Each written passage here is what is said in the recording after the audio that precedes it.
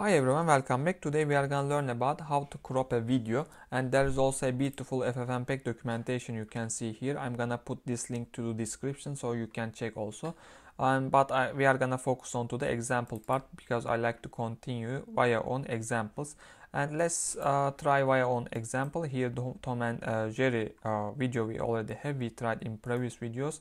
And if we check, uh, this is you see 640 to 360 width and height dimensions you see in there but maybe we are gonna try to crop in the center some kind of part let's try to crop it open terminal first of all and our the first commands gonna be always same ffmpeg then input we need to specify and uh, the input is video mp4 after that uh, the the important part in here since we are gonna make a filter because ffmpeg categorize crop uh, functionality as filter so for this we need to specify that filters always to be able to use this uh, crop function.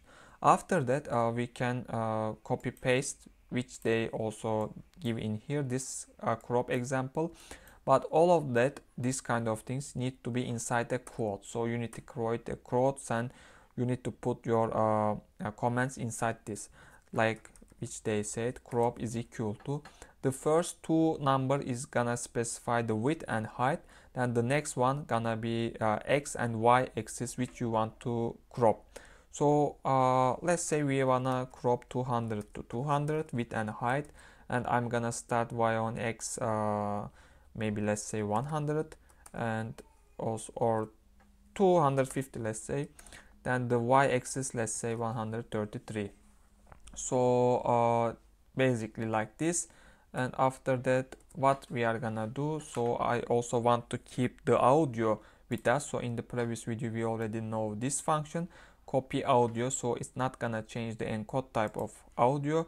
We can directly use that again copy and done. And at the end we are always gonna specify the our output file video name. Let's say output mp4 and I think it's done. We can directly try. So it's gonna create my video in the same folder in here you see. Okay so now I'm able to crop. Let's uh, compare the properties how it looks like and uh, here you see uh, already is 200 to 200 because I specified like that 200 width and 200 height. And is uh, crop it via on the x and y axis which we are I'm giving. So frame rate also same and the audio uh, encoding type also you are seeing is same. Okay in this video basically we learned how to crop a video. See you in the next videos